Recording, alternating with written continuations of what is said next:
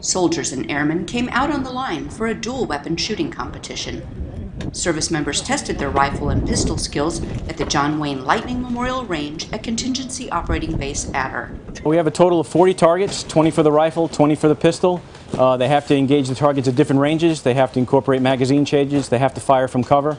Um, they have to fire in their full kit. So it is a challenge, but it's also a lot of fun to see how they match against their peers. This strategic setup and a friendly rivalry was an effective way to reinforce shooting skills. It's a good time for guys to come out and uh, do some practicing and a little competition. The competition continues with another round later this month.